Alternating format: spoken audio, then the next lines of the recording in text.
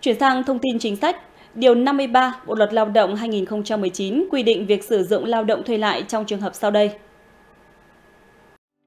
Đáp ứng tạm thời sự gia tăng đột ngột với nhu cầu sử dụng lao động trong khoảng thời gian nhất định, thay thế người lao động trong thời gian nghỉ thai sản, bị tai nạn lao động, bệnh nghề nghiệp hoặc phải thực hiện các nghĩa vụ công dân, có nhu cầu sử dụng lao động trình độ chuyên môn, kỹ thuật cao.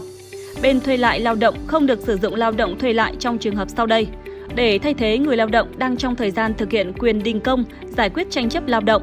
Không có thỏa thuận cụ thể về trách nhiệm bồi thường tai nạn lao động, bệnh nghề nghiệp của người lao động thuê lại với doanh nghiệp cho thuê lại lao động.